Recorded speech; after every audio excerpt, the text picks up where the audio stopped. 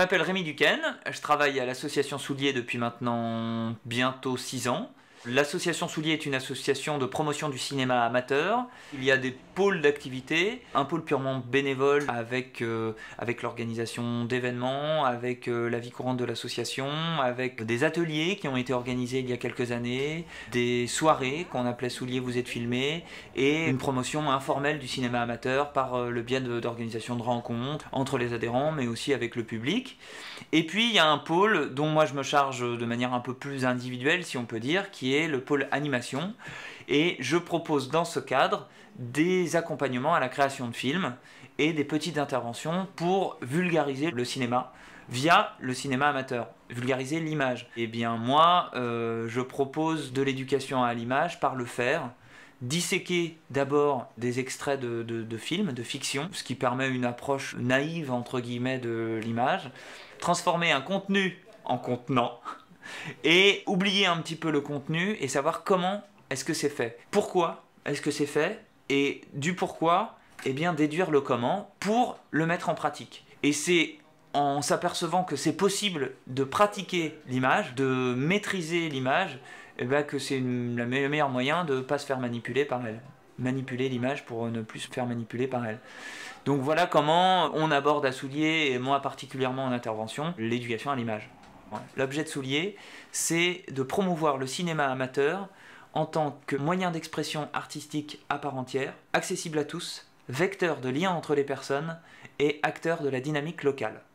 Voilà les quatre points de Soulier. On est vraiment sur une assaut de cinéma amateur, mais on est vraiment aussi sur le cinéma amateur comme outil de dynamique. On est au-delà de simplement le culte de la passion, mais pourquoi? Bah Parce que euh, ça nous permet de nous rencontrer, ça permet d'avancer un petit peu ensemble. On est tous des passionnés de cinéma amateur avant tout, des passionnés de technique, des chipoteurs de première, et c'est ça qui nous réunit. Alors, euh, donc il y a les prestations d'éducation à l'image, qui sont de toute façon une introduction aux prestations d'accompagnement à la création de fiction, qui sont euh, avant tout mises en place avec l'équipe pédagogique qui la commande. L'idée est d'accompagner un projet et non pas de le proposer de toute pièce. Euh, le projet, il vient de l'équipe pédagogique. Je ne suis, en tant que professionnel, qu'un accompagnateur. Mon objectif est d'être inutile et que le groupe soit complètement autonome dans la création de la fiction.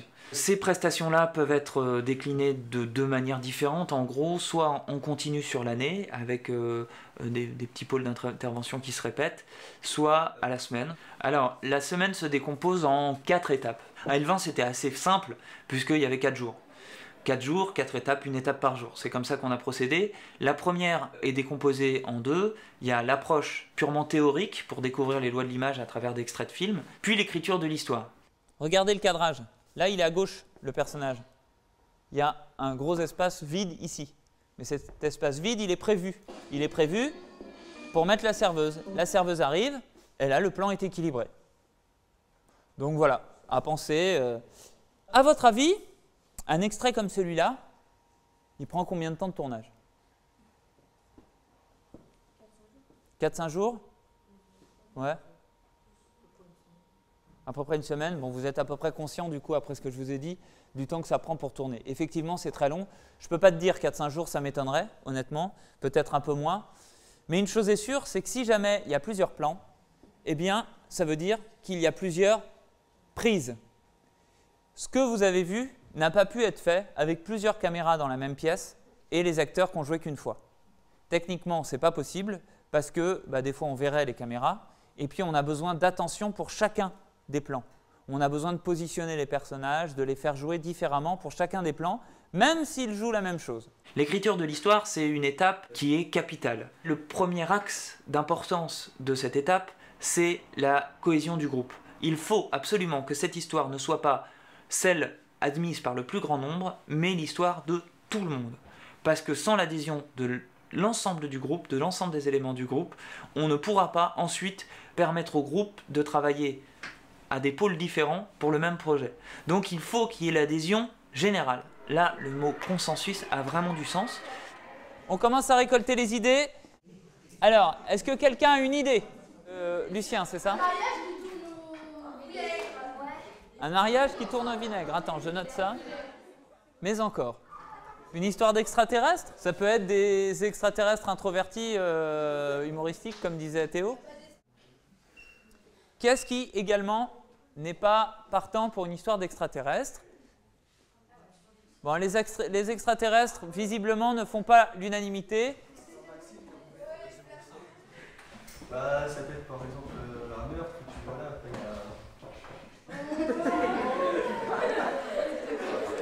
ça peut être un, voilà, un film policier quoi. D'accord. Antoine Une machine à remonter le temps et un western dans le collège. Un west... Ah Eh, n'empêche, ça c'est une idée originale.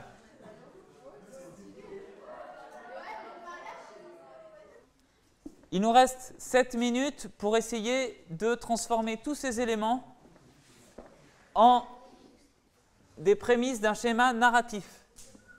Qu'est-ce que vous aimeriez si vous voulez mélanger l'ambiance du collège et l'ambiance d'un western Comment est-ce que vous vous y prendrez Il y a deux groupes d'élèves, mais au bout d'un moment, tout le monde se rentre dedans un peu. D'accord. Oui, oui, comme la guerre des moutons. Et chacun, en fait, bah oui, voilà. Les danseuses sont déjà dans la salle et quand cow-boy il dans la salle et que tout le monde arrête de faire du bruit, euh, derrière des danser.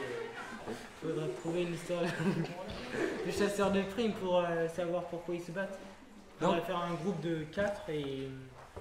Et un chasseur de primes indépendant comme dans les westerns. En fait, essayez de retrouver quels sont les personnages qui interviennent le plus souvent dans les westerns et trouver des équivalences dans un collège. Ça vous, dit, ça vous dirait à tout le monde qu'on part dans cet univers-là? Moi, je trouve ça suffisamment débile pour que ce soit intéressant. La deuxième importance, c'est aussi lorsque l'histoire va jusqu'au scénario, si le scénario est rédigé de manière la plus limpide possible, on a d'une part toutes les autres étapes qui sont beaucoup plus simples et beaucoup plus fluides, d'autre part un intérêt, puisque euh, moi j'apprends des techniques, mais le vrai intérêt d'un film, c'est uniquement l'histoire, on est là pour écouter une histoire les détails techniques, c'est sympa, mais ça joue très peu dans le résultat finalement. Le contenu de l'histoire, euh, il faut absolument qu'il arrive à être au-delà des stéréotypes qui peut nuire au résultat et donc aux jeunes eux-mêmes sans forcément qu'ils s'en aperçoivent. Essayer de les orienter hors des sentiers battus, hors des ornières dans lesquelles ils pourraient éventuellement s'engouffrer, ce qui n'est pas facile parce que c'est pas forcément compatible avec l'adhésion totale du groupe. Donc on est toujours en train de naviguer entre tout ça et de, de mettre sur la table l'importance du fait que cette histoire soit vraiment peaufiné euh, à souhait. Donc c'est la seule étape que je m'autorise à faire déborder sur le planning. Parce que c'est extrêmement important. C'est un moment aussi qui n'est pas forcément agréable, qui est extrêmement long, fastidieux et euh, fatigant. Le scénario, c'est un peu long. Trop réfléchir. Quand on est nombreux, il faut donner tout le monde son idée. Euh. Pour faire un scénario, bah, il faut aussi beaucoup de temps. C'est un, moment qui va de toute façon donner bénéfice aux étapes 3 et 4 qui sont le, le tournage et la post-production. En deuxième étape, c'est la préparation du tournage. C'est là qu'on répartit les différentes tâches entre les, entre les élèves. On est dans la pédagogie de projet où chacun va faire quelque chose différent pour profiter au projet du groupe. Donc c'est la valorisation individuelle au service d'un projet collectif. C'est vraiment le leitmotiv de Soulier et de mes interventions. C'est quelque chose que les jeunes découvrent. Il s'agit de produire pour un objectif commun et que chaque étape est obligatoire. Chaque pôle va faire quelque chose que si eux ne le font pas, ça ne sera pas fait. Et ça c'est nouveau pour eux et c'est assez galère de leur faire comprendre ça et ils le comprennent généralement que à la post-production. Mon objectif, c'est de, malgré le fait qu'ils ne comprennent pas, d'arriver quand même à les encourager à aller jusqu'au bout. C'est aussi une étape fastidieuse. Le groupe continue à se construire, c'est les clashs, c'est la fatigue, mais ça fait partie d'un projet. Et donc c'est quasi systématiquement un moment qui est, euh, qui est pas forcément agréable, mais le fait qu'il soit pas agréable, encore une fois, bénéficie au bouquet final.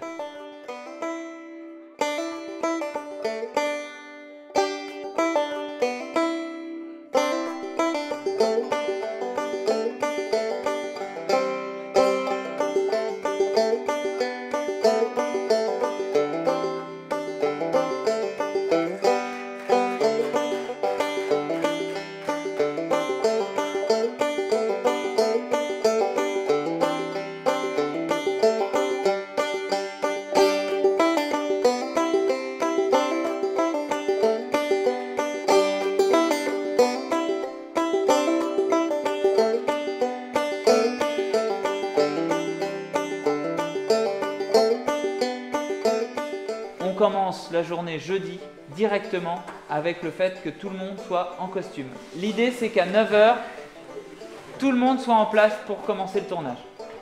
Je vous souhaite un bon mer- mercredi et merci pour cette préparation. Ensuite, il y a le tournage. Il a duré qu'une journée, c'est à peu près ce qui dure même dans les projets de 15 jours. Où là, c'est l'organisation. C'est là qu'on voit à quel point les deux premières journées ont été efficaces. Pour le projet d'Elvin, c'était clair et net que ces deux journées fastidieuses ont été extrêmement bénéfiques. D'une part pour le travail qui a été fait, d'autre part pour la transmission de la motivation, notamment des réalisateurs qui ont fait un travail fantastique et qui ont profité de leur mercredi pour préparer et écrire réellement ce tournage. Il a été vraiment écrit. Et ils ont fait ça très bien et le clap, qui donc est un indicateur précieux pour le montage, là n'a pas été utilisé à la légère du tout parce que tous les plans étaient enchaînés dans l'ordre et donc on n'a pas tourné dans l'ordre et pourtant grâce aux indications des claps on a pu tout retrouver. Ce tournage était très intéressant parce qu'il impliquait l'ensemble des élèves. L'ensemble des élèves étaient acteurs et pas tout le temps donc ça a permis aussi de gérer de manière autonome les pauses et euh, l'importance aussi que c'est de ne pas déranger lorsqu'on se repose. Donc ça a été un, tournage très très riche, très très riche. Après, moteur, il y a deux individus qui doivent dire quelque chose, c'est le caméraman et le preneur de son, qui doivent dire ça tourne quand une fois qu'ils ont allumé leur appareil, pour que le réalisateur sache que ça tourne. Là, ça a d'autant plus de, son, de sens pardon, que les réalisateurs ne, sont, ne voient pas la caméra, ils ne voient pas le preneur de son. Donc, ils- Ensuite, on lit le contenu du clap, on enlève le clap, on dit action, tout le monde est déjà dans son personnage, mais l'action ne commence que 3 à 5 secondes après le mot action, pour laisser du mou au montage. Est-ce que c'est OK pour tout le monde? Oui. Super. Et si vous avez une attention euh, comme ça, comme celle-là, à chaque fois que la réclament les réalisateurs, c'est trop de la balle.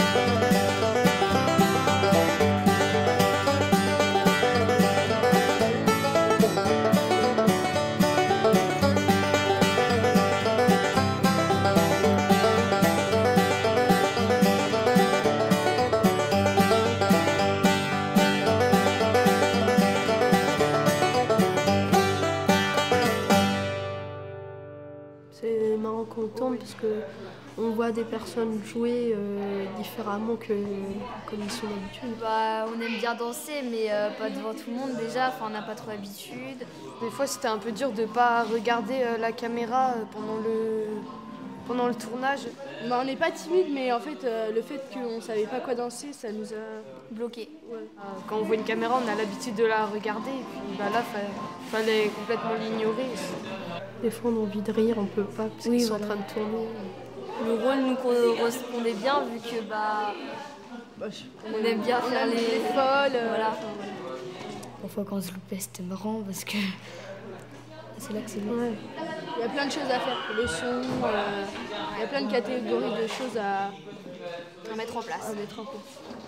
en termes d'histoire. On s'écarte quand même des sentiers battus, des histoires proposées par les adolescents cette fois. Bon, elle tient dans un timbre poste, mais l'univers est vraiment intéressant. Ils ont réussi vraiment à faire abstraction des stéréotypes pour euh, les utiliser à leur sauce réellement. C'est pas toujours le cas. C'est la preuve aussi d'une ambiance qui a été réussie, qui a été bénéfique. Tout était hyper écrit, c'est-à-dire que j'ai enchaîné les, les plans comme c'était noté sur le clap. 1, 2, 3, 4. Alors évidemment, il y en a que j'ai utilisé plusieurs fois et ça donne quelque chose d'extrêmement cohérent. Ça donne un film qui est très court, mais c'est plutôt, euh, plutôt un bon point qu'un mauvais, parce que l'idée c'est d'envoyer l'histoire de manière assez efficace. Le film pour l'instant dure 3 minutes 30, avec le générique on va peut-être atteindre 4 minutes. Oh, il manque quelques plans, euh, on va voir peut-être. euh. Mais euh, c'est quelque chose de très court, d'assez efficace. Donc voilà. En revanche, le montage est loin de faire tout le film, c'est bien le moins qu'on puisse dire, puisque ce film tient énormément, va tenir énormément sur la musique et le bruitage, et les sons d'ambiance qu'on n'a pas encore pris. Donc je vais vous montrer, ne soyez pas déçus, le film n'est pas terminé. Aujourd'hui, il va falloir faire tout le travail de son. Et les gars, je pense que peut-être de l'aide, ça ne va pas vous, nuire, parce que vraiment, il faudra trouver euh, des musiques libres de droit qui tiennent la route, les doubler en sifflant, puisque là on a besoin du siffleur. Et puis il y aura besoin aussi d'un son d'ambiance. La cohue, il faudrait qu'on enregistre une cohue un peu euh, pour la bataille de boulettes, euh, une ambiance calme, rajouter des bruitages qui font western mais pas trop. Tout va se situer là-dessus. Et puis éventuellement, à la fin, on pourra rajouter un effet sur l'image, un effet qui va pourrir un petit peu l'image en mode vieux film, si vous voulez que ça fasse vraiment western. Et enfin, la post-production. Alors la post-production, c'est pas toujours facile parce que tout le monde ne peut pas être impliqué dans la post-production. Déjà parce que moi personnellement, je reprends mon rôle de technicien. Là, il faut pas que ça aille à côté. On a un résultat à produire, donc de temps en temps, bah, je suis pas disponible du tout. Donc S'ils n'ont pas réussi à développer l'autonomie, bah, forcément, euh, ça peut être nuisible. Là, on était quand même pas mal d'adultes pour encadrer.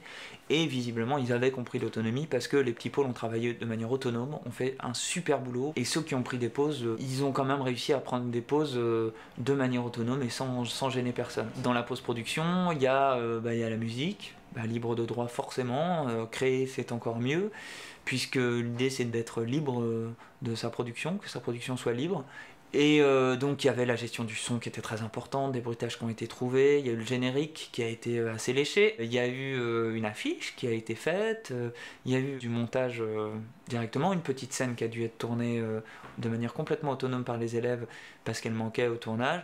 Voilà, c'est le gros marathon final, mais on a quand même pu projeter une version euh, qui était relativement acceptable. J'ai envoyé euh, récemment, euh, donc après, nous sommes donc après le projet, les enfants sont d'autant plus enthousiastes du résultat qu'ils ont eu devant les, devant les yeux. Le travail avec les réalisateurs était vraiment chouette. Le fait de découvrir que les scènes étaient vraiment travaillées, ils ont réussi à créer l'adhésion en faisant quelque chose de très propre. Les plans étaient écrits, étaient réfléchis, avec une formation qui était quand même assez réduite.